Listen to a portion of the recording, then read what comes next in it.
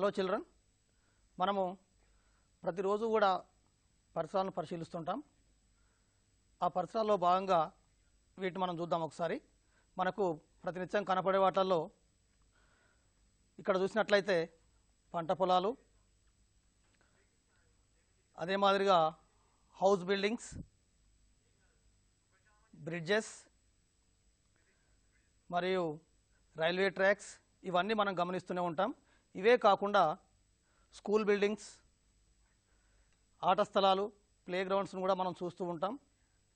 అదేవిధంగా మన జాతీయ పతాకం యొక్క ఆకారం మనం ఎగరవేసే కైట్స్ ఇవన్నీ కూడా ప్రతినిత్యం మనం గమనిస్తూ ఉంటాం. అంతేకాకుండా లీడో అట్టలు గేమ్స్ ఆడుకోవడానికి ఉపయోగపడుతూ ఉంటాయి. వీటిని కూడా మనం ప్రతినిత్యం చూస్తూనే ఉంటాం. అదేవిధంగా క్యారమ్ బోర్డ్ మరియు మన క్లాస్ రూమ్లో ఉపయోగించే బ్లాక్ బోర్డు డెస్టర్ ఇవన్నీ కూడా వీటిని మనం చూస్తూ ఉంటాం కదా. వీటిని కనుక మనం పటాలుగా గీయగలిగితే అవి ఏ ఆకారంలో ఉంటాయి? అంతేకాకుండా మనం ఇప్పుడు పరిశీలించిన అన్ని అంశాల యొక్క ప్రాథమిక జామతీయ ఆకారాలన్నీ కూడా ఏ రూపంలో ఉంటాయో మనం ఒకసారి ఆలోచించినట్లయితే ఇందులో ఎక్కువ భాగంగా మనం చూసిన వాటిలో ఎక్కువ భాగం నాలుగు భుజాలతో కూడి ఉన్న చతుర్భుజాలుగా మనకు కనిపిస్తూ ఉంటాయి. చతుర్భుజం అనగా అసలు ఏంటి అర్థం? చతుర్భుజాలు అనగా సరేకియాలు కానటువంటి నాలుగు బిందువులను వరుస క్రమంలో కలపగా ఏర్పడే సంవృత పటమే చతుర్భుజం అనుకుంటామని మనం నేర్చుకొని ఉన్నాం. మళ్ళీ ఒకసారి దీన్ని మనం పరిశీలించినట్లయితే ఇది ఒక బిందువు ఏ సూచిస్తుంది? ఇది ఒక బిందువు బి అదే మాదిరిగా సి అనే బిందువు డి అనే బిందువులు. ఈ నాలుగు బిందువులను నాలుగు సల్లరేఖల చేత కలపగా ఏర్పడే సమృత పటమే చతుర్భుజం. ఇక్కడ ఏర్పడే చతుర్భుజం ఏబిసిడి అనే ఒక చతుర్భుజాన్ని సూచిస్తుంది. అంటే నాలుగు భుజాలతో ఏర్పడి ఉన్న సమృత పటమే చతుర్భుజం. ఈ చతుర్భుజాన్ని గమనించినట్లయితే ఏబిసిడి అని ఒక చతుర్భుజం. ఇందులో మనం చూసినట్లయితే ఏబి ఒక భుజం అదే మాదిరిగా బీసీ ఒక రెండో భుజం సిడి మూడో భుజం ఏడి నాలుగో భుజం. అంటే ప్రతి చతుర్భుజానికి కూడా నాలుగు భుజాలు ఉంటాయి. మరియు ఇక్కడ మధ్యలో మనం ఏసి శీర్షాన్ని కలిపినట్లయితే ఏసీ అనేది కర్ణాన్ని సూచిస్తుంది. బీడీ కూడా ఒక కర్ణాన్ని సూచిస్తుంది. కాబట్టి ప్రతి చతుర్భుజానికి రెండు కర్ణాలు ఉంటాయి ఏసీ బీడీ అనేవి రెండు కర్ణాలు. నాలుగు భుజాలు రెండు కర్ణాలు. అదే మాదిరిగా మనకు ఇక్కడ కనపడుతున్న నాలుగు కోణాలు కూడా కన- కనపడుతున్నాయి. చూడండి ఒకసారి. యాంగిల్ డిఏబి ఇక్కడ ఏ కోణాన్ని సూచిస్తుంది డిఏబి అనగా. అదే మాదిరిగా యాంగిల్ ఏబీసీ అంటే బీ కోణాన్ని సూచిస్తుంది. ఇది బీ కోణాన్ని సూచిస్తుంది. మరియు యాంగిల్ బీసీడీ యాంగిల్ సిడిఏ అంటే ప్రతి చతుర్భుజానికి కూడా నాలుగు భుజాలు ఉంటాయి. రెండు కర్ణాలు ఉంటాయి. నాలుగు కోణాలు ఉంటాయి. మనం ఇక్కడ రెండు పటాలు చూస్తున్నాం. గమనించండి ఒకసారి. ఒకే కొలతలు కలిగిన రెండు పటాలు. ఒకటి దీర్ఘచతురస్రం మరియు సమాంతర చతుర్భుజం. ఇవి రెండు కూడా ఒకే కొలతలు కలిగి ఉన్నప్పటికీ వాటి యొక్క ఆకారాలు వేరువేరుగా మనకు కనపడుతున్నాయి. అంటే ఇవి రెండు పటాలు ఒకే కొలతలు కలిగిన చతుర్భుజాలు అయినప్పటికీ కూడా వాటి యొక్క ఆకారాలలో మార్పు ఉన్నది. అంటే ఒకే రకమైన పటాలు మనకి ఇక్కడ ఏర్పడలేదు. ఒకే కొలతలు ఉన్నప్పటికీ ఇవి ఒకే ఆకారంలో లేవు. దీనికి గల కారణం ఏంటి? మనం ఒకసారి మళ్ళీ ఒక త్రిభుజం తీసుకుందాం. ఇక్కడ చూడండి ఒక త్రిభుజాన్ని. ఇది ఒక త్రిభుజము. మీరు సెవెంత్ క్లాస్లో త్రిభుజాన్ని నిర్మించే విధానం తెలుసుకొని ఉన్నారు. ప్రతి త్రిభుజానికి మూడు భుజాలు ఉంటాయి. అదే రకంగా మూడు శీర్షాలు మూడు కోణాలు ఉంటాయి. ఈ త్రిభుజాన్ని నిర్మించాలంటే మనకు మూడు కొలతలు అవసరం. ఏదైనా ఒక త్రిభుజాన్ని ఏకైకంగా నిర్మించాలంటే మూడు కొలతలు అవసరం మనం గతంలో నేర్చుకున్నాం. అదే మాదిరిగా మనం చతుర్భుజాన్ని నిర్మించాలంటే మరి మనకు ఎన్ని కొలతలు అవసరము? మళ్ళీ ఒకసారి మనం ఒక యాక్టివిటీ ద్వారా దీన్ని మనం పరిశీలిద్దాం. చతుర్భుజ నిర్మాణానికి ఎన్ని స్వతంత్ర కొలతలు అవసరం ఉంటాయో ఊహించగారా ఇప్పుడే మనం చెప్పుకోవడం జరిగింది. త్రిభుజానికి మూడు స్వతంత్ర కొలతలు ఉంటాయి. అవి మూడు భుజాలు కావచ్చు లేదా రెండు భుజాలు వాటి మధ్య కోణం కావచ్చు లేదా రెండు కోణాలు వాటి మధ్య భుజం కావచ్చు. అవి ఇచ్చినట్లయితే మనం త్రిభుజాన్ని గీయగలం. మరి చతుర్భుజాన్ని గీయాలంటే మనకు ఎన్ని కొలతలు అవసరం ఉంటాయి తీసుకున్నట్లయితే ఇక్కడ పీక్యూ క్యూఆర్ ఆర్ఎస్ ఎస్పి అనేవి నాలుగు భుజాలు. మళ్ళీ ఒకసారి మనం ఒక యాక్టివిటీని పరిశీ చూద్దాం ఇక్కడ. నేను ఇక్కడ ఈ నాలుగు కర్ర పుల్లల సహాయంతో ఒక చతుర్భుజాన్ని ఏర్పరచడం జరిగింది. నేను ఇంకొక చతుర్భుజం తీసుకుంటు తీసుకుంటున్నాను ఇక్కడ. సేమ్ అవే కొలతలు ఉన్నాయి. చూడండి ఇక్కడ. సేమ్ అవే కొలతలు ఉన్నప్పటికీ దీని యొక్క ఆకారం ఇదొక అదొక సమాన చెరువుదాన్ని సూచిస్తుంది. సేమ్ కొలతలు ఉన్నప్పుడు కూడా పటాల యొక్క ఆకారంలో మార్పు రావడం జరిగింది. అదే మాదిరిగా ఇంకొక ఆకారం రావడం జరుగుతుంది. ఇక్కడ కొలతలు సేమ్ అయినప్పటికీ పటాల యొక్క ఆకారాలు ఒకే విధంగా లేవు. దీనికి గల కారణం ఏంటి? మనం తీసుకున్నట్లయితే ఏకైకంగా చతుర్భుజాన్ని ఏకైకంగా చతుర్భుజాన్ని నిర్మించాలంటే చతుర్భుజానికి ఎన్ని స్వతంత్ర కొలతలు అవసరం ఉంటాయి దీనికి మనం దీన్ని చూసినట్లయితే ఇక్కడ ఒకసారి. ఆ చతుర్భుజాన్ని సూచిస్తూ కర్రపుల సహాయం. దీన్ని మీరు పరిశీలించండి.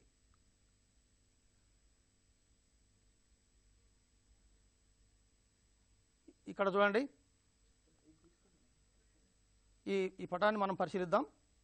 ఈ పటాన్ని పరిశీలించినట్లయితే నా దగ్గర ఒక దీర్ఘచతురస్రాకారాన్ని తయారు చేయడానికి కావాల్సిన ఒక పటం మనకు కనపడుతుంది. దీన్ని నేను వెడల్పు వెంబడి వంచినట్లయితే దీని యొక్క ఆకారం మారిపోతుంది. గమనించండి ఇక్కడ. దీని యొక్క ఆకారం సమాంతర చతుర్భుజంగా మారింది. అదే మాదిరిగా దీన్ని మళ్ళీ సేమ్ నేను వీటి యొక్క కొలతలు మార్చకుండా ఇటువైపు మనం కొంచెం బెండ్ చేసినట్లయితే వంచినట్లయితే మరొక ఆకారంలోకి రావడం జరుగుతుంది. చూడండి ఇక్కడ ఒకటే కొలతలు ఉన్నప్పటికీ వివిధ ఆకారాల్లోకి ఇది మార్పు చెందుతూ ఉంటుంది. అంటే ఈ కొలతల సహాయంతో మనం ఎన్ని రకాల చతుర్భుజాన్ని గీయవచ్చును? ఒకే రకంగా గీయడానికి అవకాశం లేదు. అంటే చతుర్భుజ నిర్మాణానికి నాలుగు కొలతలు ఇక్కడ సరిపోవడానికి ఆస్కారం లేదు. ఏకైకంగా చతుర్భుజాన్ని గీయాలంటే మరి మనకు ఎన్ని స్వతంత్ర కొలతలు అవసరం ఉంటాయి? మనం దీన్ని పరిశీలించినట్లయితే ఈ నాలుగు కొలతల ద్వారా మనం అనేక రకాల ఆకారాలు మనం గమనిస్తూ ఉంటాం. కాబట్టి ఏకాక చతుర్భుజాన్ని గీయాలంటే మనకు ఇంకో ఒక కొలత అవసరం ఉంటుందని దీని ద్వారా మనకు తెలుస్తుంది. నేను ఇప్పుడు ఇదే ప్రయోగాన్ని ఈ మధ్యన ఒక కర్రపుల ఉంచినట్లయితే ఇక్కడ చూడండి. నేను ఇప్పుడు దీని ఉంచాను ఇప్పుడు. ఇది ఐదవ కొలతగా తీసుకుందాం. ఇప్పుడు నేను ప్రయత్నం చేస్తున్నా ఇక్కడ. దీని యొక్క ఆకారం మార్చడానికి. కానీ దీని యొక్క ఆకారంలో మార్పు రావడం లేదు. దీనికి గల కారణం ఏంది? ఇంకొక కొలత రావడం వలన పటం యొక్క ఆకారంలో మార్పు లేదు. అనగా మనకి ఏం తెలుస్తుంది దీన్ని బట్టి? చతుర్భుజాన్ని ఏకైకంగా నిర్మించాలంటే నాలుగు భుజాలతో పాటు అదనంగా ఇంకొక భుజం అవసరం పడుతుంది. అంటే నాలుగు కొలతలతో పాటు అదనంగా ఇంకొక కొలత అవసరం పడుతుంది. కాబట్టి చతుర్భుజాన్ని ఏకైకంగా నిర్మించాలి అంటే మనకు ఐదు స్వతంత్ర కొలతలు అవసరం. చతుర్భుజాన్ని ఏకైకంగా నిర్మించాలంటే ఐదు స్వతంత్ర కొలతలు అవసరం. మనం ఇప్పుడే తెలుసుకోవడం జరిగింది. ప్రతి చతుర్భుజానికి నాలుగు భుజాలు రెండు కర్ణాలు మరియు నాలుగు కొనాలు ఉంటాయి. మొత్తం పది కొలతలలో ఏవైనా ఐదు కొలతలు ఇచ్చినట్లయితే ఆ ఐదు కొలతల ద్వారా చతుర్భుజాన్ని ఏకైకంగా నిర్మించవచ్చు. ఏకైకంగా అనగా ఆ కొలతల సహాయంతో ఎవరు గీసినా ఎక్కడ గీసినా ఒకే ఆకారం రావడాన్ని మనం ఏకైకంగా అనుకుంటాం. అంటే ఇవ్వబడ్డ కొలతల సహాయంతో చతుర్భుజాన్ని నిర్మించినట్లయితే అది ఒకే ఆకారాన్ని పొందాలి. మనం గీసినా మన ఫ్రెండ్స్ గీసినా ఎవరు గీసినా కూడా ఆ కొలతల సాయంతో ఒకే ఆకారంలోకి వచ్చినట్లయితే అది ఏకైకంగా ఉందని చెప్పుకోవచ్చు. కాబట్టి చతుర్భుజ నిర్మాణాన్ని మనం గీయాలంటే ఆ పటం ఏకైకంగా రావాలి అంటే మనకు ఐదు స్వతంత్ర కొలతలు అవసరమని ఈ ప్రయోగం ద్వారా ఈ యాక్టివిటీ ద్వారా మనం తెలుసుకోవడం జరిగింది. మరి మనకు ఏ ఐదు స్వతంత్ర కొలతలు అవసరము? మనం ఏం తీసుకోవాలి మరి ఐదు కొలతలని మనం? ఎలాంటి ఐదు కొలతలు తీసుకోవాలి? అనుకున్నట్లయితే ఇక్కడ ముందు చూడండి ఒకసారి. నాలుగు భుజాలు చతుర్భుజానికి సంబంధించి నాలుగు భుజాలు తర్వాత ఒక కర్ణం ఇచ్చిన ఒక కోణం ఇచ్చినప్పుడు నాలుగు భుజాలు ఒక కోణం ఇచ్చినప్పుడు తీసుకోవచ్చు. అదే మాదిరిగా నాలుగు భుజాలు నాలుగు భుజాలు కర్ణం ఇచ్చినప్పుడు నాలుగు భుజాలు మరో కర్ణం సహాయంతో చతుర్భుజాన్ని ఏకైకంగా ఏకైకంగా నిర్మించవచ్చు. అదే మాదిరిగా మూడు భుజాలు లేదా రెండు కర్ణాలు ఇచ్చినప్పుడు మూడు భుజాలు లేదా రెండు కర్ణాలు ఇచ్చినప్పుడు లేదా రెండు భుజాలు మరియు వాటికి సంబంధించిన మూడు కోణాలు ఇచ్చినప్పుడు మనం చతుర్భుజాన్ని నిర్మించవచ్చు.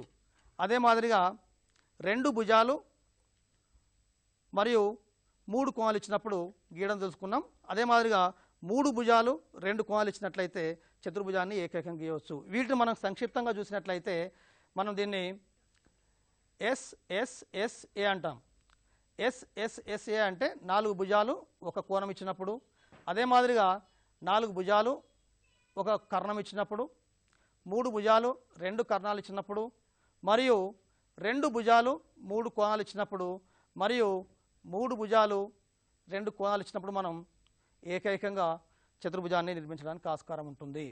కాబట్టి ఇక్కడ కోణాలు వచ్చాయి కాబట్టి కోణాలు మనం గీయడానికి సాధారణంగా వృత్తలేఖను ఉపయోగిస్తాం.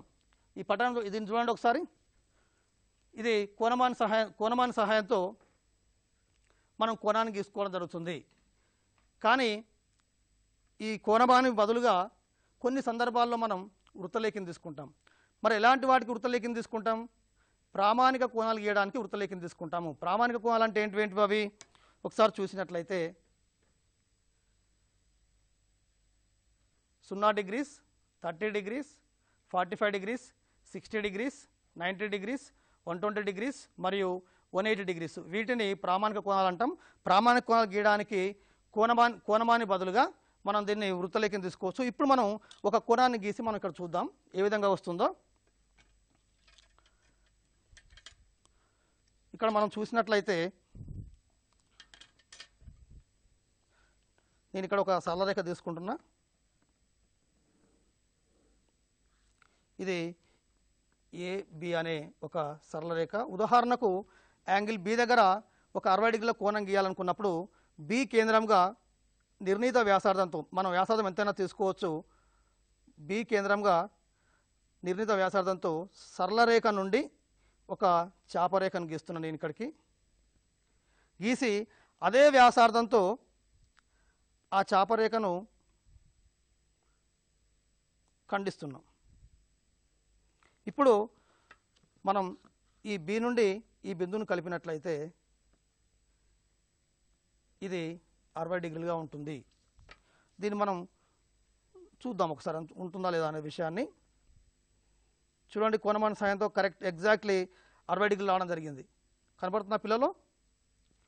ఈ మధ్య కోణం కరెక్ట్గా సిక్స్టీ డిగ్రీస్. అదే మాదిరిగా ఇంకొకసారి అదే స్థానం నుంచి మనం ఇంకో ముందుకి ముందుకి చాపరేఖను రెండోసారి కట్ చేసినట్లయితే ఇప్పుడు ఇంకొక అరవై డిగ్రీలు వస్తుంది. ఇక్కడ జాగ్రత్తగా గమనించండి. ఇప్పుడు యాంగిల్ ఏబిఎక్స్ అరవై డిగ్రీలు. అదే మాదిరిగా యాంగిల్ ఏబివై తీసుకున్నట్లయితే angle A B Y is equal to one twenty degrees మనం కోణమానం లేకుండా వృత్తలేఖం ద్వారా గీసిన కోణాలు కరెక్ట్. దాదాపు ఈ కోణమాని కంటే కూడా ఖచ్చితమైన విలువలను నిర్ణయిస్తాయి. చూద్దాం ఇప్పుడు. చూడండి కరెక్ట్ కరెక్ట్గా వన్ ట్వంటీ డిగ్రీస్తో ఏకీభవించింది. యాంగిల్ ఏబిఎక్స్ ఈ రకంగా ప్రామాణిక కోణాలు గీసేటప్పుడు మాత్రం మనం నిర్మాణాలలో కోణమాని బదులుగా వృత్తలేఖిని ఉపయోగించవచ్చు. ఇప్పుడు మనం ఒక సమస్యను తీసుకుందాం. చూడండి పిల్లలు. A B is equal to three point eight centimetres B C is equal to three point four centimetres C D is equal to four point five centimetres A D is equal to five centimetres మరియు angle B is equal to sixty degrees కొలతలు కాగల A B C D చతుర్భుజాన్ని నిర్మిద్దాం. ముందుగా చతుర్భుజాన్ని నిర్మించాలంటే ఇవ్వబడ్డ కొలతలు మనకు చతుర్భుజ నిర్మాణానికి సరిపోతాయా లేవా అని మనం పరిశీలించుకోవాలి. దానికోసం ఒక చిత్తుపటాన్ని గీసుకుంటాం. చిత్తుపటం ద్వారా ఇవ్వబడ్డ కొలతలు చతుర్భుజ నిర్మాణానికి సరిపోతున్నాయా లేదా అనే విషయాన్ని తెలుసుకోవడం జరుగుతుంది. ముందుగా చిత్తుపటాన్ని నిర్మించుకుందాం.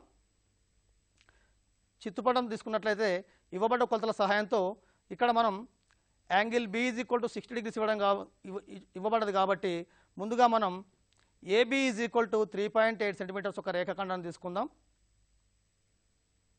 తర్వాత యాంగిల్ బి సిక్స్టీ డిగ్రీస్ ఉండేటట్లు తీసుకొని బీసీని గుర్తిస్తున్నాం.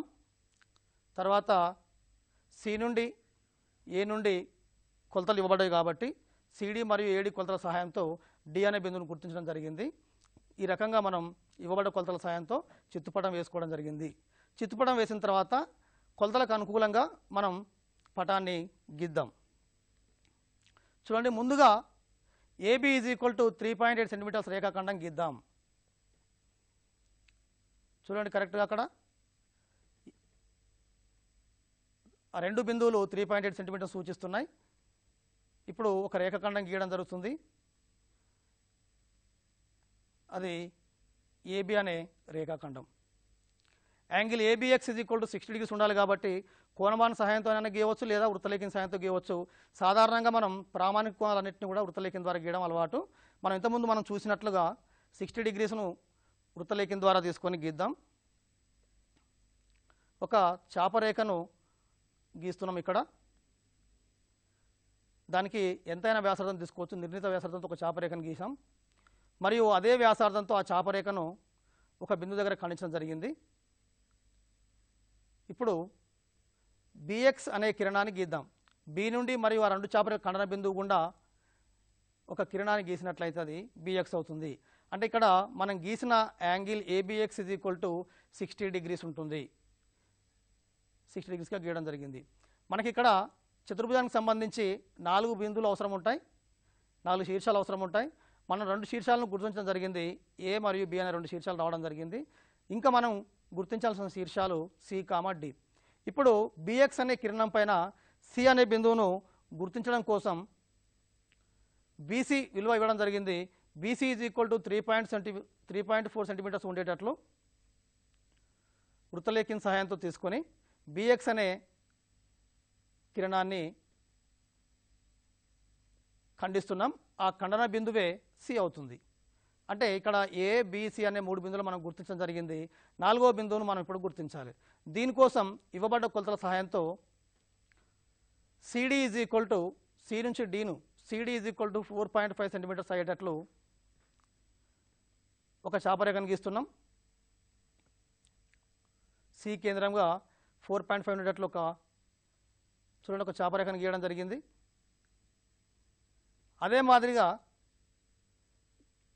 A D is equal to five centimetres ఉండేటట్లు ఏ కేంద్రంగా మరొక చాపరేఖను గీద్దాం. A D is equal to five centimetres పటం చూడండి ఒకసారి. ఇప్పుడు ఏ కేంద్రంగా చాపరేఖను గీద్దాం. ఆ చాపరేఖను గీసినట్లయితే ముందు గీసిన చాపరేఖను డి అనే బిందు వద్ద ఖండిస్తుంది.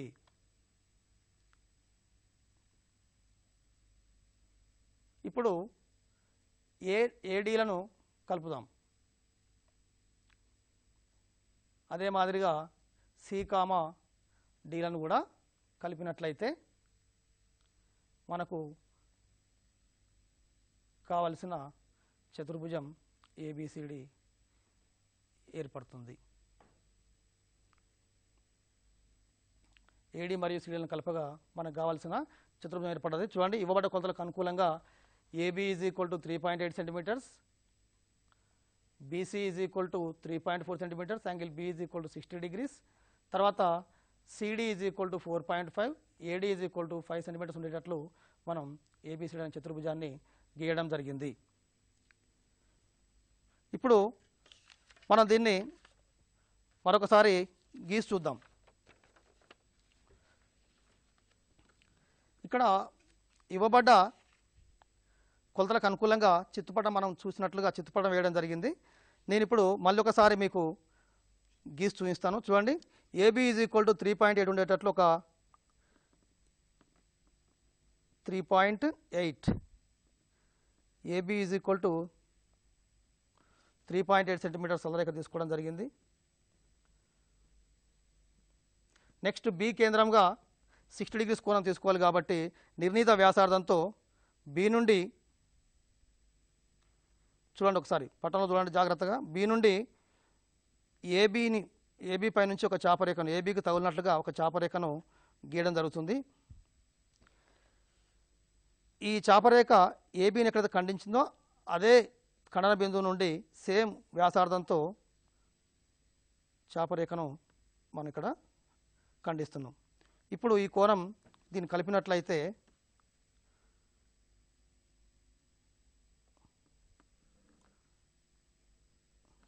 బిఎక్స్ అనే కిరణం గీయడం జరిగింది. ఇప్పుడు ABX is equal to sixty degrees ఉంటుంది. అదే మాదిరిగా ఇప్పుడు బిఎక్స్ పైన బీసీని త్రీ పాయింట్ ఫోర్ ఉండేట్లు గుర్తిద్దాం. చూడండి ఇక్కడ పటంలో త్రీ పాయింట్ ఫోర్ ఉండేటట్లు చూస్తున్న పిల్లలు ఇక్కడ చూడండి ఒకసారి. త్రీ పాయింట్ ఫోర్ ఉండేటట్లు మనం బిఎక్స్ పైన సి అనే బిందువును గుర్తించడం జరిగింది. మనకు చతుర్భుజానికి కావాల్సిన నాలుగు శీర్షాల్లో ఏ బి సి రావడం జరిగింది. డి అనే బిందువు కోసం మనకు ఇక్కడ సి నుండి డికు ఫోర్ పాయింట్ ఫైవ్ సెంటీమీటర్స్ వ్యాసార్థంతో ఒక చాపరేఖను గీద్దాం. ఇది ఒక చాపరేఖ స్కేల్ సహాయంతో ఫోర్ పాయింట్ ఫైవ్ సెంటీమీటర్ తీసుకోవడం జరుగుతుంది ఇక్కడ. దీని సహాయంతో చూడండి ఇక్కడ. ఫోర్ పాయింట్ ఫైవ్ అనేది క్లియర్గా తీసుకోవడం జరిగింది. సి నుండి ఫోర్ పాయింట్ ఫైవ్తో ఒక చాపరేఖను ఇక్కడ గీయడం జరిగింది. డి బిందువు కోసం సిడీగా ఫోర్ పాయింట్ ఫైవ్ సెంటీమీటర్ వ్యాసంతో ఒక చాపరేఖను గీశాను. మరియు డి బిందువును కరెక్ట్గా గుర్తించడం కోసం అది ఏ నుండి ఫైవ్ సెంటీమీటర్స్ దూరంలో ఉండాలి కాబట్టి మళ్ళీ వృత్తలేఖిన సాయంతో ఫైవ్ సెంటీమీటర్స్ తీసుకొని పటంలో చూడండి ఒకసారి ఇక్కడ. కరెక్ట్గా ఫైవ్ సెంటీమీటర్స్ తీసుకొని ఏ నుండి ముందు గీసిన చాపరేఖను డి అనే బిందు దగ్గర ఖండించడం జరిగింది. ఇప్పుడు ఈ రెండు కలపగా ఇది డి అనే బిందువు. ఏడి మరియు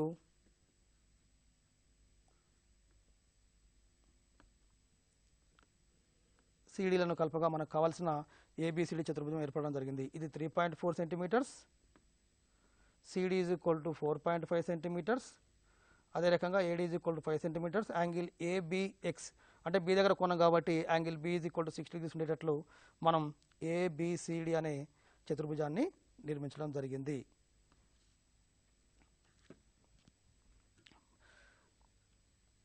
ఇప్పుడు దీని సహాయంతో మనం ఒక సమస్యను సాధిద్దాం. P Q is equal to four centimetres Q R is equal to three centimetres మరియు angle P Q R is equal to one twenty degrees కొలతలు కాగల పీక్యూఆర్ఎస్ సమాంతర చతుర్భుజాన్ని నిర్మించండి. మనకి ఈ ప్రశ్న చూడగానే అర్థమవుతుంది. సార్ ఇంతవరకు మీరు ఐదు కొలతలు అని చెప్పారు కానీ ఇక్కడ మూడు కొలతలే కనపడుతున్నాయి. మరి ఎలా గీయాలి? అనుకున్నట్లయితే మనకు ఇక్కడ ఇచ్చింది ఒక చతుర్భుజమే కానీ అది ఒక ప్రత్యేకమైన చతుర్భుజం. చూడండి ఒకసారి. పీక్యూఆర్ఎస్ అనేది ఎలా ఉంటుంది అది సమాంతర చతుర్భుజం. మనం ఇంతకుముందు అనుకున్నాం సమాంతర చతుర్భుజంలో మీకు ధర్మాలు తెలుసు. సమాంతర చతుర్భుజం ఇది ఒక సమాంతర చతుర్భుజాన్ని సూచిస్తుంది. పట్టణం చూడండి ఒకసారి ఇక్కడ. సమాంతర చతుర్భుజాన్ని సూచిస్తుంది. సమాంతర చతుర్భుజంలో ఈ రెండు భుజాలు ఒకదానికి ఒకటి సమాంతరంగా ఉంటాయి మరియు సమానంగా ఉంటాయి. అంటే సమాంతర చతుర్భుజంలో ఎదుటి భుజాలు సమాంతరము మరియు వాటి యొక్క కొలతలు సమానంగా ఉంటాయి. అదే మాదిరిగా ఇవి రెండు కూడా ఇవి రెండు కొలతలు సమానంగా ఉంటాయి మరియు మరియు సమాంతరంగా ఉంటాయి. అంటే మనకి ఏమర్థమవుతుంది ఈ పొడవు కనుక తెలిసినట్లయితే ఈ పొడవు కూడా దాంతో సమానంగా ఉంటుంది. అదే మాదిరిగా ఈ వెడల్పు కనుక తెలిసినట్లయితే ఇటువైపు వెడల్పు కూడా సమానంగా ఉంటుంది. అనగా ఈ రెండు కొలతల్లో ఒక కొలత ఇచ్చినట్లయితే ఇంకో కొలత కూడా సేమ్ అదే ఉంటుంది. అదే మాదిరిగా ఈ రెండిట్లో ఒక కొలత ఇచ్చినట్లయితే ఇది కూడా అదే మాదిరి అదే కొలత ఉంటుంది. కాబట్టి ఈ ప్రత్యేకమైన చతుర్భుజాల్లో ఏ- ఏకైకంగా నిర్మించాలంటే కంపల్సరీ ఐదు ఐదు కొలతలు ఉండాల్సిన అవసరం లేదు. చతుర్భుజ ధర్మాలను బట్టి కొలతల సంఖ్య కూడా మారుతుంది. సమాంతర చతుర్భుజానికి మనం ఇక్కడ చూస్తున్నాం. ఎన్ని కొలతలు అవసరమవుతున్నాయి యాక్చువల్గా? రెండు భుజాలు సమాంతరంగా ఉంటున్నాయి మరియు సమానంగా ఉంటున్నాయి కాబట్టి ఇవి రెండు రెండిట్లో ఒక కొలత ఇస్తే రెండు ఇచ్చినట్టే లెక్క. అదే మాదిరిగా ఇక్కడ కూడా రెండు కొలతలలో ఒకటి ఇచ్చినట్లయితే రెండు కొలతలు కూడా సేమ్గా తీసుకోవడం జరుగుతుంది. మనం ఇప్పుడు దీన్ని చూద్దాం ఒకసారి. P Q is equal to four centimetres మరియు Q R is equal to three centimetres angle P Q R is equal to one twenty degrees ఉండేటట్లు చతుర్భుజాన్ని నిర్మించాలి. దానికోసం మనం ఇక్కడ ఒక చిత్తుపటాన్ని వేసుకోవడం జరిగింది. పీక్యూ ఫోర్ ఉండాలి క్యూఆర్ త్రీ ఉండాలి angle P Q R is equal to one twenty degrees ఉండాలి. ఈ మూడు కొలతల సాయంతో మనం చతుర్భుజాన్ని నిర్మించాలి. దీనికోసం P Q is equal to four centimetres Q R is equal to three centimetres P Q R is equal to one twenty degrees కాబట్టి మనం ఇప్పుడు చెప్పుకున్నట్టుగా పీక్యూఎస్ఆర్ అనేవి రెండు సమాంతరము మరియు సమానం. అందువల్ల P Q is equal to S R is equal to four centimetres అవుతుంది. అదే మాదిరిగా పట్టణం చూడండి ఒకసారి. అక్కడ మన బ్లింక్ అవుతుంది. P S and Q R is also same రెండు కూడా ప్యారల్గా ఉన్నాయి మరియు సమానంగా ఉంటాయి. Angle P Q R is equal to one twenty degrees అంటే ఈ మన పటాన్ని మనం గమనిస్తే చూడండి ఇక్కడ ఇవ్వబడ్డ కొలతలు మూడు అయినప్పటికీ కూడా మనం ఇక్కడ ఐదు కొలతలు అవడం జరిగింది. P Q S R Q R and P S and P Q R ఇప్పుడు ఈ ఐదు కొలతల సహాయంతో మీరు ఇంతకుముందు గీసిన విధంగా సమాధ చతుర్భుజాన్ని గీయడానికి మీ సార్ సహాయంతో ప్రయత్నం చేయండి. అయితే ఇక్కడ చతుర్భుజ నిర్మాణానికి ఐదు స్వతంత్ర కొలతలు అవసరం ఉంటున్నాయి. కానీ ప్రత్యేక చతుర్భుజం తీసుకున్నట్లయితే ఐదు కొలతలు అవసరం లేకుండా తక్కువ అవుతున్నాయి. అంటే ఆ చతుర్భుజానికి ఉన్న ధర్మాలను బట్టి వాటికి గీయగలిగే కొలతల సంఖ్య అంటే ఎన్ని కొలతలు ఇస్తే మనం గీయగలుగుతాం అనేది మనం పరిశీలించినట్లయితే సమలమ చతుర్భుజం తీసుకున్నప్పుడు ఒక జత సమాంతరంగా ఉంటాయి కాబట్టి ఇవ్వబడ్డ ఆ చతుర్భుజంలో కనీసం ఒక జత సమాంతరంగా ఉన్నట్లయితే దాన్ని మనం సమలమ చతుర్భుజం అంటాం. కాబట్టి ఒక కొలత తక్కువగా ఉంటుంది. అందువల్ల ఐదుకు బదులుగా సమలమ చతుర్భుజాన్ని నిర్మించాలంటే మనకు నాలుగు కొలతలు అవసరం ఉంటాయి. అదే మాదిరిగా మనం ఇప్పుడు చూడడం జరిగింది. సమాంతర చతుర్భుజంలో రెండు జతలు సమాంతరంగా ఉంటాయి మరియు సమానంగా ఉంటాయి కాబట్టి ఎదురు భుజాలు. అందువల్ల కొలతల సంఖ్య మూడు ఇచ్చినప్పటికి కూడా మనం గీయడానికి ఆస్కారం ఉంటుంది. సమచతుర్భుజం. సమచతుర్భుజం రాంబస్. రాంబస్లో నాలుగు భుజాలు సమానంగా ఉంటాయి. ఎదురు భుజాలు సమాంతరం మరియు సమానం. అందువల్ల నాలుగు భుజాల్లో ఒక భుజం ఇచ్చినట్లయితే నాలుగు కొలతలు తెలిసినట్లు అవుతుంది. మరియు ఒక కోణం ఇచ్చినట్లయితే సమచతుర్భుజ నిర్మాణానికి గీయడానికి ఆస్కారం ఉంటుంది. అదే రకంగా దీర్ఘచతురస్రం కూడా ఎదురు భుజాలు సమానము మరియు సమాంతరము. అంతేకాకుండా ప్రతి కోణం కూడా తొంభై డిగ్రీలు ఉండడం వల్ల ఇక్కడ దీర్ఘచతురస్ర నిర్మాణానికి రెండు స్వతంత్ర కొలతలు సరిపోతాయి. ఇంకా మనం చతురస్రం తీసుకున్నట్లయితే చిత్రస్రానికి ఒకటే కొలత ఇచ్చినప్పుడు మనం గీయగలుగుతాం. ఎందుకంటే చిత్రస్రంలో నాలుగు భుజాలు సమానంగా ఉంటాయి మరియు ప్రతి కోణం కూడా నైంటీ డిగ్రీస్ ఉంటుంది కాబట్టి చిత్రస్ర నిర్మాణానికి ఒక్క కొలత అవసరం ఉంటుంది దీర్ఘచతుర నిర్మాణానికి రెండు కొలతలు అవసరం ఉంటాయి సమచతుర్భుజ నిర్మాణానికి రెండు కొలతలు అవసరం ఉంటాయి సమాధ చతుర్భుజ నిర్మాణానికి మూడు కొలతలు అవసరం ఉంటాయి అదే మాదిరిగా సమలమ చతుర్భుజానికి నాలుగు కొలతలు అవసరం ఉంటాయి. ఇప్పుడు మరొక సమస్యను మనం పరిశీలిద్దాం. ఇంతకుముందు మనం నాలుగు భుజాలు ఒక కోణం ఇచ్చినట్లయితే చతుర్భుజాన్ని నిర్మించడం తెలుసుకున్నాం కదా. అదే మాదిరిగా ఇప్పుడు రెండు భుజాలు మూడు కోణాలు కొలతలు ఇచ్చినప్పుడు చతుర్భుజాన్ని ఏ విధంగా గీయాలి? దాన్ని మనం ఇక్కడ తీసుకుందాం. ఇక్కడ రెండు భుజాలు అన్నప్పుడు ఎస్ ఎస్ రెండు సైడ్స్ తర్వాత మూడు కోణాలు ఏ ఏ ఏ ఇక్కడ చూడండి ఒకసారి. B E is equal to five centimetres E S is equal to four point five centimetres angle B is equal to seventy five degrees angle E is equal to hundred degrees మరియు angle S is equal to one twenty అంటే ఇవ్వబడ్డ కొలతలలో మనం పరిశీలించినట్లయితే BE ఒక భుజము ES రెండవ భుజము. మిగిలినవి మూడు కూడా కోణాలు అంటే రెండు భుజాలు ఒకటి వాటి మధ్య కోణము మిగిలినవి రెండు కోణాలు ఇచ్చినప్పుడు చతుర్భుజాన్ని మనం ఏకైకంగా నిర్మించే అవకాశం ఉంటుంది. ఇప్పుడు ఈ కొలతల సహాయంతో మనం చతుర్భుజాన్ని నిర్మిద్దాం. ఇక్కడ ఇవ్వబడ్డ కొలతలు సహాయంతో బిఈఎస్టి అనే చతుర్భుజం ఏర్పడుతుంది. బెస్ట్ అనే చతుర్భుజాన్ని గీద్దాం. బెస్ట్ అనే చతుర్భుజం నిర్మించడానికి ఇవ్వబడ్డ కొలతలు రెండు భుజాలు మరియు మూడు కోణాలు. వీటి సహాయంతో బెస్ట్ అనే చతుర్భుజాన్ని నిర్మిద్దాం. ముందుగా ఇవ్వబడ్డ కొలతలు మనం చూడండి ఇక్కడ. ఈ కొలతల సహాయంతో చిత్తుపటం వేద్దాం. బిఈ ఈజ్ ఈక్వల్ టు ఐదు సెంటీమీటర్లు ఉంటే ఒక సలరేఖ తీసుకోవడం జరిగింది రేఖాఖండం. ES is equal to angle is equal to వంద డిగ్రీల కోణం తీసుకోవడం జరుగుతుంది. ES is equal to four point five centimetres మరియు angle S is equal to one twenty degrees అంటే ఇక్కడ బిఈఎస్ e, అనే మూడు శీర్షాలు రావడం జరిగింది. నాలుగో శీర్షం కొరకు బి నుండి సెవెంటీ ఫైవ్ డిగ్రీస్ కోణం గీసినట్లయితే ఎస్ నుండి గీయబడ్డ కోణాన్ని డి అనే బిందు దగ్గర టి అనే బిందు దగ్గర ఖండిస్తుంది. ఇప్పుడు వీటన్నిటి ద్వారా మనకు బిఈఎస్టీ e, అనే చతుర్భుజం ఏర్పడుతుంది. నిర్మాణ సోపానాలు చూద్దాం. మొట్టమొదటి నిర్మాణ సోపానం. బిఈ ఈజ్ ఈక్వల్ టు ఐదు సెంటీమీటర్ల రేఖాఖండాన్ని గీద్దాం. పటంలో చూడండి. రెండు బిందువులు అక్కడ మనకు కనపడుతున్నాయి. వాటి యొక్క మధ్య దూరం ఐదు సెంటీమీటర్లు ఉంటుంది. అవి రెండింటిని మనం బీఈగా తీసుకున్నట్లయితే బీఈ ఈజ్ ఈక్వల్ టు ఐదు సెంటీమీటర్ల రేఖాఖండం. రెండవ నిర్మాణ సోపానంలో angle B is equal to seventy five degrees ఉండేటట్లు బిఎక్స్ కిరణాన్ని గీద్దాం. లేదా మనం బి నుండి గీయ బి నుండి గీసినా ఒకటే లేదా ముందుగా ఈ నుండి అయినా కూడా గీసుకోవచ్చు. ఎట్లయినా కూడా ప్రాబ్లం ఏముండదు. కాబట్టి మనం ఫస్ట్ ఇక్కడ angle B is equal to seventy five degrees ఉండేటట్లు బిఎక్స్ అనే కిరణాన్ని గీస్తున్నాం చూడండి ఇక్కడ.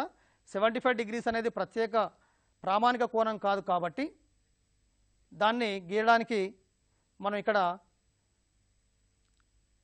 కోనమాన్ని ఉపయోగిస్తున్నాం. కోనమాన్ సహాయంతో angle B is equal to seventy five degrees ఉండేటట్లు గీద్దాం. చూడండి ఇక్కడ. యాంగిల్ బి సెవెంటీ ఫైవ్ ఉండాలంటే మనకి ఇక్కడ విలువలు కనపడుతూ ఉన్నాయి. Zero ten twenty thirty forty fifty sixty seventy. Seventy five కావాలి కాబట్టి ఈ సెవెంటీ ఫైవ్ బిందును గుర్తిద్దాం ఇక్కడ. దాని గుండా మనం ఒక కిరణాన్ని గీసినట్లయితే బిఎక్స్ అనే కిరణము angle B is equal to seventy five degrees అయ్యేటట్లు BX కిరణాన్ని గీయడం జరిగింది. ఇది రెండవ నిర్మాణ సోపానం. మనం ప్రతి చతుర్భుజాన్ని గీసేటప్పుడు చిత్తుపడంతో పాటుగా నిర్మాణ సోపానం కూడా వరుస క్రమంలో రాయడం పరిపాటి కాబట్టి నిర్మాణ క్రమాన్ని ఖచ్చితంగా మనం వివరించాలి.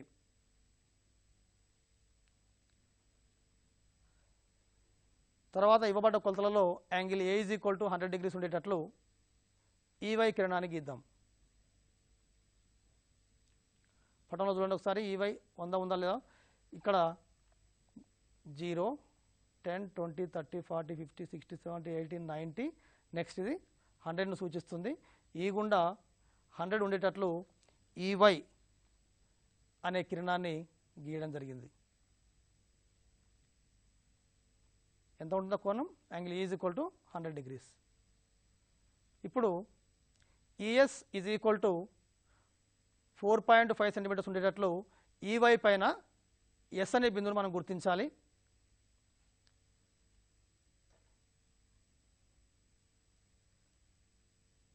చూడండి అక్కడ. ఎస్ అనే బిందువు రావడం జరిగింది. నెక్స్ట్ మనం వన్ ట్వంటీ డిగ్రీస్ గీయాలి కాబట్టి angle S is equal to one twenty degrees కాబట్టి మళ్ళీ మనం ప్రామాణిక కోణం కావడం వలన వృత్తలేఖిన సహాయంతో వన్ ట్వంటీ డిగ్రీస్ గీ గీద్దాం అక్కడ.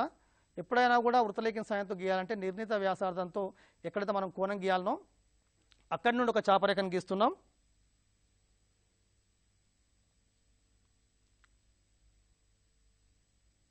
ఎస్ నుండి ఒక చాపరేఖ గీయడం జరిగింది. తర్వాత ఎక్కడైతే ఖండించిందో అది చూడండి ఇక్కడ. సలరేఖను ఖండించిన బిందువు నుండి చాపరేఖను ఒక బిందు దగ్గర ఖండిస్తున్నాం. మొదటిసారి ఖండించినప్పుడు సిక్స్టీ డిగ్రీస్ రావడం జరుగుతుంది. మనం ఇంతకుముందు చూడడం జరిగింది. తర్వాత ఖండన బిందు నుండి మరొకసారి అంతే వ్యాసార్థంతో ఆ చాపరేఖను రెండవసారి ఖండించినట్లయితే ఇంకొక అరవై డిగ్రీలు రావడం జరుగుతుంది. ఇప్పుడు ఎస్ నుండి రెండవ ఎస్ నుండి ఈ రెండవసారి ఖండించిన బిందువుకు ఒక రేఖను గీద్దాం. అప్పుడు అది వన్ ట్వంటీ డిగ్రీస్ ఉండడం జరుగుతుంది. ఎస్జెడ్ అనే కిరణము యాంగిల్ ఎస్ దగ్గర చూడండి మనం గీసింది కరెక్టో కాదో నిర్ధారణ కోసం కోణమాని సహాయంతో కూడా మనం ఒకసారి మనం దీన్ని చెక్ చేసుకుంటున్నాం. జీరో డిగ్రీస్ ఈ రకంగా వచ్చినట్లయితే ninety hundred one ten one twenty యాక్యురేట్గా రావడం జరిగింది. అంటే ప్రామాణిక కోణాలు గీసేటప్పుడు మనం కోణమాని కన్నా కూడా వృత్తలేఖం ద్వారా కరెక్ట్గా రావడం జరుగుతుంది. ఇప్పుడు మనం గీసిన కోణం కోణమాన్ సహాయంతో కూడా మనం వెరిఫై చేయడం జరిగింది. అది కరెక్ట్గా వన్ ట్వంటీ డిగ్రీస్ను చూపిస్తుంది. One twenty degrees.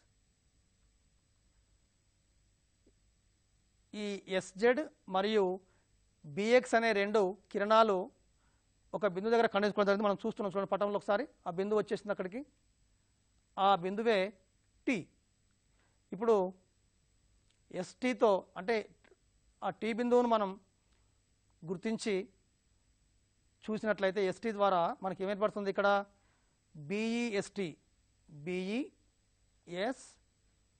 అనే నాలుగు శీర్షాలతో కూడి ఉన్న చతుర్భుజం ఏర్పడుతుంది. ఇవ్వబడ్డ కొలతల సహాయంతో మనం ఈ చతుర్భుజానికి గీయడం జరిగింది.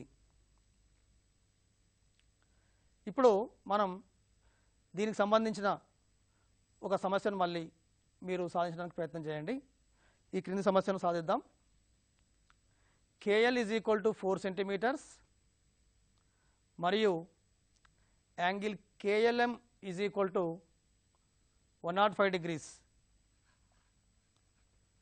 కొలతలు కాగల కేఎల్ఎంఎన్ అనే రాంబస్ను నిర్మించండి. ఈ దీని నిర్మాణం కోసం ఇవ్వబడ్డ కొలతలు మనం పరిశీలిస్తే KL is equal to four centimetres KLM is equal to angle KLM is equal to one nought five degrees. రెండు కొలతలు ఇవ్వడం జరిగింది. మరి రెండు కొలతల సహాయంతో రాంబస్ను ఏ విధంగా గీయాలి? మనం ఇంతకుముందు చెప్పుకోవడం జరిగింది. ప్రతి చతుర్భుజానికి కూడా ఏకైకంగా గీయాలంటే ఐదు స్వతంత్ర కొలతలు అవసరము. అంటే మనం ఇక్కడ తీసుకున్న రాంబస్ అనేది ప్రత్యేక చతుర్భుజం కాబట్టి ఇవ్వబడ్డ కొలతలు మనం చతుర్భుజ నిర్మాణానికి రాంబస్ నిర్మాణానికి సరిపోతాయో లేదో ఒకసారి మనం తెలుసుకుందాం. రాంబస్లో నాలుగు భుజాలు సమానంగా ఉంటాయి. కాబట్టి ఇవి రెండు కొలతలు ఇవ్వడం జరిగింది. KL is equal to four centimetres angle KLM is equal to one nought five degrees ఇక్కడ ఈ పటాన్ని మనం పరిశీలించినట్లయితే రెండు కొలతలు ఇవ్వడం జరిగింది. ఈ రెండు కొలతలలో KL is equal to four centimetres రాంబస్లో నాలుగు భుజాల పొడవులు సమానంగా ఉంటాయి కాబట్టి ఒక కొలత ఇచ్చినట్లయితే నాలుగు భుజాలను కూడా ఇక్కడ కేఎల్ ఎంత ఉంటుందో ఎల్ఎం అంతే ఉంటుంది ఎంఎన్ అంతే ఉంటుంది ఎన్కే కూడా అంతే ఉంటుంది. కాబట్టి ఒక కొలత ఇచ్చినట్లయితే నాలుగు భుజాల కొలతలను మనం సేమ్ అదే కొలతగా తీసుకోవడం జరుగుతుంది. KL is equal to four centimetres LM is equal to four centimetres MN is equal to four centimetres KN is equal to four centimetres నాలుగు భుజాల కొలతలు ఉన్నాయి. నాలుగు పొడవులు మరియు angle KLM is equal to one nought five degrees చూడండి. మళ్ళీ ఐదు ఐదు కొలతలు అవడం జరిగింది. ఈ ఐదు కొలతలలో మనకి ఇక్కడ కనిపిస్తున్నవి నాలుగు భుజాలు మరియు ఒక కోణం. మనం ముందు నిర్మించిన పీక్యూఆర్ఎస్ అనే చతుర్భుజం అయితే ఎట్లా నిర్మించామో ఈ కొలతల సహాయంతో మీరు కూడా ఇంటి వద్ద ఈ చతుర్భుజాన్ని నిర్మించడానికి ప్రయత్నం చేయండి. అంటే ఇక్కడ మనం ఏం ఉపయోగిస్తున్నాం? నాలుగు భుజాలు. ఇక్కడ చూడండి కేఎల్ ఎల్ఎం ఎంఎన్ కేఎన్. నాలుగు భుజాలు మరియు ఒక కోణం ఇచ్చినప్పుడు రాంబస్ను గీయండి. ఇంటికాడ ప్రయత్నం చేయండి. KL is equal to four అదే మాదిరిగా LM is equal to four MN is equal to four NK is equal to four one nought five ఇక్కడ మనం మొదటి రకానికి సంబంధించిన నిర్మాణాన్ని ఇక్కడ ఉపయోగిస్తున్నాము. నాలుగు భుజాలు ఒక కోణం. మరి ఇదే సమస్యకు మనం రెండో ఎగ్జాంపుల్ మనం చూసుకోవడం చూడడం జరిగింది కదా. దాని ద్వారా కూడా మనం సాధించవచ్చు. చూడండి ఒకసారి. KL is equal to four centimetres angle KLM is equal to one nought five degrees ఇప్పుడు LM is equal to four centimetres ఎందుకంటే ఆసన్న భుజం. రాంబస్లో అన్ని భుజాలు సమానం కాబట్టి నేను ఇక్కడ ఏం తీసుకుంటున్నా అంటే ఎల్ఎం కూడా ఫోర్ సెంటీమీటర్స్ తీసుకోవడం జరిగింది. తర్వాత ఇంకా మనకి ఇక్కడ రెండు భుజాలు ఒక కోణం రావడం జరుగుతుంది రాంబస్లో మనం పరిశీలించినట్లయితే ఆసన్న కోణాలు యాంగిల్ ఎన్కేఎల్ సమాంత చతుర్భుజంలో కానివ్వండి రాంబస్లో కానివ్వండి దీర్ఘచతురంలో కానివ్వండి చతురస్రంలో కానివ్వండి ఆసన్న కోణాల మొత్తం నూట ఎనభై ఉంటుంది కాబట్టి నూట ఎనభైలో ఒక కోణం కొలత వన్ నాట్ ఫైవ్ డిగ్రీస్ ఇచ్చినప్పుడు మిగిలిన కోణం కొలత is equal to one one eighty minus one nought five that is equal to seventy five అంటే angle K is equal to seventy five అదే మాదిరిగా యాంగిల్ ఎమ్ కూడా సెవెంటీ ఫైవ్ అవుతుంది. ఎందుకంటే ఇక్కడ యాంగిల్ కే యాంగిల్ ఎల్ రెండు ఆసన కోణాలు. ఆసన కోణాలు మొత్తం నూట ఎనభై ఉండాలి కాబట్టి ఇది వన్ నాట్ ఫైవ్ మిగతా కోణం సెవెంటీ ఫైవ్ అదే మాదిరిగా యాంగిల్ ఎమ్ కూడా ఆసన కోణమే కాబట్టి ఇది కూడా సెవెంటీ ఫైవ్ ఉంటుంది. లేదా రాంబస్లో కానివ్వండి సమాజ తిరుపంలో కానివ్వండి అభిముఖ కోణాలు సమానంగా ఉంటాయి. యాంగిల్ కే ఎంత ఉంటుందో యాంగిల్ ఎంఏ ఎంత ఉంటుంది. అందుకని యాంగిల్ ఎల్ఎంఎన్ కూడా సెవెంటీ ఫైవ్ తీసుకోవడం జరిగింది. అంటే మనకి ఇక్కడ రెండు కొలతలు ఇచ్చినట్లయితే మిగతా మూడు కొలతలను కూడా మనం తీసుకోవడం జరిగింది. ఇందులో రెండు భుజాలు మూడు కోణాలు. ఇది మనం రెండోసారి గీసిన ఎగ్జాంపుల్ అనుసరించి మీరు ఇంటి దగ్గర ప్రయత్నం చేయండి. ఇక్కడ మనం ఏం ఉపయోగిస్తున్నాం? మూడు రెండు భుజాలు మూడు కోణాలు ఇచ్చినప్పుడు చతుర్భుజాన్ని నిర్మించాలి. దీన్ని మనం మీరు మీ ఉపాధ్యాయుల సహాయంతో లేదా మీరు జట్లుగా జట్లుగా ఏర్పడి ఈ చతుర్భుజాన్ని నిర్మించడానికి ప్రయత్నం చేయండి. ఇప్పటి వరకు మనం ఏం చర్చించాం? చూసినట్లయితే అసలు చతుర్భుజం అనగా ఏంటి? చతుర్భుజం అనగా సరేకియాలు కానటువంటి నాలుగు బిందువులను వరుస క్రమంలో కలపగా ఏర్పడే సమృత పటమే చతుర్భుజం. ఇక్కడ ఏ బి సి డి అనేవి నాలుగు బిందువులు. ఈ నాలుగు బిందువులను మనం వరుస క్రమంలో కలుపుతాం చూడండి ఒకసారి. ఏబి బీసీ సిడి డిఏ నాలుగు బిందులు వరుస క్రమంలో కలిపినప్పుడు ఏర్పడేది ఏబిసిడి చతుర్భుజం. అందుకని నాలుగు భుజాలతో ఏర్పడ్డ సమృత పటమే చతుర్భుజం లేదా నాలుగు బిందువులను అనగా నాలుగు శీర్షాలను వరుస క్రమంలో రేఖాఖండాలచే కల్పగా ఏర్పడే సమృత పటమే చతుర్భుజం అవుతుంది. మరి చతుర్భుజ నిర్మాణానికి ఎన్ని స్వతంత్ర కొలతలు అవసరం ఉంటాయి మనం ఇంతకుముందు చెప్పుకున్నాం. మళ్ళీ ఒకసారి మనం దీన్ని చూసినట్లయితే ఇక్కడ చూడండి ఒకసారి. ఇదొక ఇదొక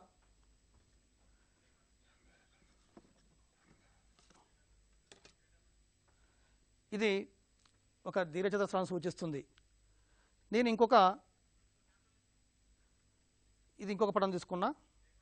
ఇవి రెండు పొడవులు సమానంగా ఉన్నాయి వెడల్పు సమానంగా ఉన్నాయి. రెండిట్లలో కూడా. రెండిట్లలో కూడా పొడవులు సమానంగా ఉన్నాయి వెడల్పు సమానంగా ఉన్నాయి. కానీ దీని యొక్క ఆకారాలు సమానంగా లేవు. అంటే ఇవ్వబడ్డ నాలుగు కొలతల సాయంతో చతుర్భుజాన్ని ఏకైకంగా నిర్మించలేమని దీని ద్వారా తెలుసుకున్నాం కాబట్టి మరి ఏకైకంగా ఉండాలంటే ఏం కావాలి? ఇంకొక కొలత అవసరం. అందువల్ల మనం ఏం చేస్తున్నామంటే ఒక ఇంకొక కరపుల సహాయంతో దీన్ని మనం ఇట్లా ఫిక్స్ చేయడం జరిగింది. ఇప్పుడు మనకి ఇక్కడ one two three four five ఐదు కొలతలు తీసుకోవడం జరిగింది. అంటే నాలుగు భుజాలు ఒక కర్ణం తీసుకోవడం జరిగింది. అంటే చతుర్భుజాన్ని ఏకైకంగా నిర్మించాలంటే మనకు కంపల్సరీ ఐదు స్వతంత్ర కొలతలు అవసరమని మనం ఇంతకుముందు చూ చూడడం జరిగింది. ఇప్పుడు మనం దీన్ని నేను ఎట్లా కదిలించినా కూడా ఇది దీని యొక్క ఆకారంలో మార్పు లేదు. ఈ కొలతలు ఇచ్చినట్లయితే ఎవరు కూడా మనం దీన్ని ఎవరు గీసినా లేదా ఎవరు నిర్మించినా ఈ పుల్లల సహాయంతో దీని యొక్క ఆకారంలో మార్పు ఉండదు. కాబట్టి చతుర్భుజాన్ని ఏకైకంగా నిర్మించాలంటే మనకు కంపల్సరీ ఐదు స్వతంత్ర కొలతలు అవసరమని మనం తెలుసుకోవడం జరిగింది. అదే మాదిరిగా ఈ ఐదు కొలతలు ఎలా ఉండాలి మరి? నాలుగు భుజాలు ఒక కోణం ఉండవచ్చు లేదా నాలుగు భుజాలు ఒక కర్ణంగా తీసుకోవచ్చు లేదా మూడు భుజాలు రెండు కర్ణాలు తీసుకోవచ్చు లేదా రెండు భుజాలు వాటి మధ్య కోణము మరియు రెండు ఆసన కోణాలు తీసుకోవచ్చు లేదా మూడు భుజాలు రెండు కోణాలు కూడా తీసుకోవడానికి ఆస్కారం ఉంటుంది. అందుకని వీటిని ఏమంటామంటే ఇక్కడ చూడండి మన పటంలో ఎస్ఎస్ఎస్ఏ నాలుగు భుజాలు ఒక కోణము ఇచ్చినప్పుడు అదే మాదిరిగా నాలుగు భుజాలు ఒక కర్ణం ఇచ్చినప్పుడు అదే మాదిరిగా మూడు భుజాలు రెండు కర్ణాలు ఇచ్చినప్పుడు అదే మాదిరిగా రెండు భుజాలు మూడు కోణాలు ఇచ్చినప్పుడు మరియు మూడు కోణాలు రెండు భుజాలు ఇచ్చినప్పుడు చతుర్భుజాలు నిర్మించే విధానం మనకు సిలబస్లో ఉండడం జరిగింది. మనం ఈరోజు నాలుగు భుజాలు ఒక కోణము ఇచ్చినప్పుడు చతుర్భుజాన్ని ఏ విధంగా నిర్మించాలో మనం చూడడం జరిగింది. అదే మాదిరిగా రెండు భుజాలు మరియు మూడు కోణాలు ఇచ్చినప్పుడు కూడా చతుర్భుజాన్ని నిర్మించడం జరిగింది. ఇప్పుడు ప్రామాణిక కోణాలు అయిన అయినటువంటి వీటిని మనం వృత్తలేఖిన్ సహాయంతో నిర్మించాలి. అందుకని అక్కడ మనకు చూడండి వృత్తలేఖిన్కి రైట్ పెట్టడం జరిగింది మరియు కోనమాన్ని మనం ఇంటి పెట్టడం జరిగింది. అంటే ఇటువంటి వాటిని నిర్మించేటప్పుడు కోనమాన్ని సహాయం తీసుకోవాల్సిన అవసరం లేదు. వీటిని వృత్తలేఖిన్ సహాయంతో ప్రామాణిక కోణాలు గీసినట్లయితే అవి హండ్రెడ్కి హండ్రెడ్ పర్సెంట్ సరైన కోణాలని సూచిస్తాయి. మనం చర్చించడం జరిగింది. ప్రత్యేక చతుర్భుజం అయినటువంటి సమలమ చతుర్భుజం నిర్మించడానికి నాలుగు కొలతలు అవసరం. సమాంతర చతుర్భుజం నిర్మించడానికి మూడు కొలతలు అవసరం. సమచతుర్భుజ నిర్మాణానికి రెండు స్వతంత్ర కొలతలు అవసరం. దీర్ఘచతురం నిర్మించడానికి రెండు స్వతంత్ర కొలతలు అవసరం. అదే మాదిరిగా చిత్రసం నిర్మించడానికి ఒక స్వతంత్ర కొలత అవసరం ఉంటుంది. మనం ఈరోజు మనం నాలుగు భుజాలు ఒక కోణం ఇచ్చినప్పుడు రెండు భుజాలు మూడు కోణాలు ఇచ్చినప్పుడు నేర్చుకోవడం జరిగింది. మిగతా లెసన్లో మనం నాలుగు భుజాలు ఒక కర్ణం ఇచ్చినప్పుడు మరియు మూడు భుజాలు రెండు కర్ణాలు ఇచ్చినప్పుడు ఏ విధంగా నిర్మించాలో తదుపరి క్లాస్లో నేర్చుకుందాం. అంతవరకు సెలవు. Thank you.